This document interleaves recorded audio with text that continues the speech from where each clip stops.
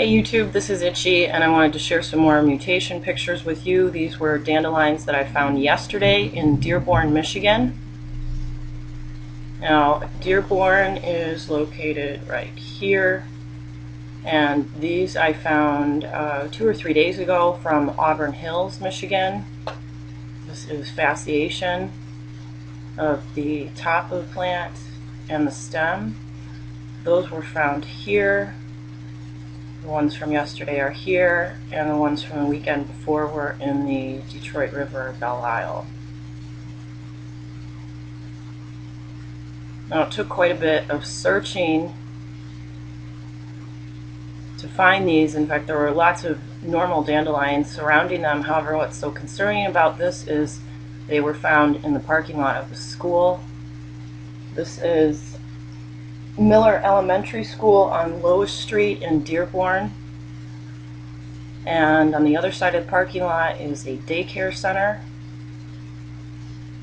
Now, the playground was over to the left of the daycare. We couldn't go in there because it was fenced. And this particular plant had not only cresting and multiple blooms on the top, but very thick stems, and there were a couple of mutations growing on the same plant. It was probably the worst one that I've found so far.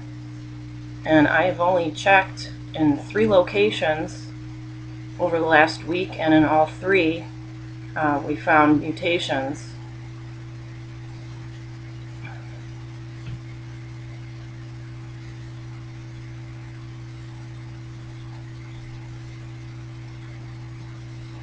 I put out a video a few days ago about the Auburn Hills mutations. Um, considering that they are being found in school areas, I think that this is something the EPA needs to get on top of. Uh, this is a normal dandelion stem from the same bunch with a round top.